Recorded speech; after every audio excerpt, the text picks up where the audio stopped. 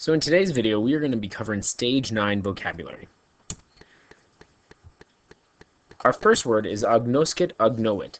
Pay attention, this you notice how the SC changes to a V. Right? It's one of those stem changes from present to perfect. It's a verb that means recognizes. Celebrat, celebravit. It's a verb that means celebrates, and again, you can see that the addition of a V here in the perfect stem. Celeriter is an adverb meaning quickly. Here we see Vir celeriter currit, the man runs quickly.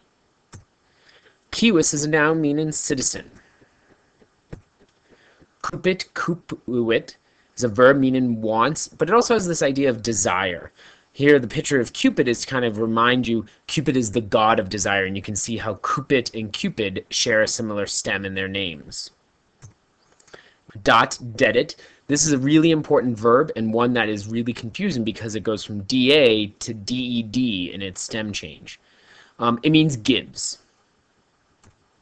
Dies is one we've seen since the beginning of this year. It's a noun that means day. And in this chapter, we learn dies natalis, which is day of the birth or birthday. Emittit, emisit is a verb that means throws or sends out. It's literally two different words coming together. It's the preposition ex, which we've seen, out of, emittit, send. Exercet, exercuit is a verb meaning exercises. Vertulit is another important verb that has a really dramatic change from the present over here to the perfect. Um, it means brings or carries, and we get a lot of compound verbs from this one.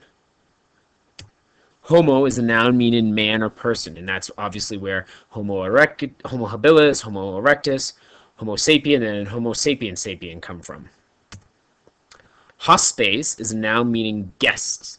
Uh, we get hosp hospitable and hospitality from it. Uh, here we see Lumiere uh, welcoming you to be his guest at the castle. Ille is a pronoun meaning that. Inspixit, it, another pretty drastic stem change, IC to EX.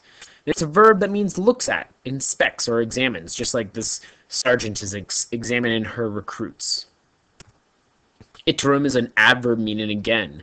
Um, so we see, can see the pendulum clock and it would go back and forth again and again and again. Iterum, iterum, iterum.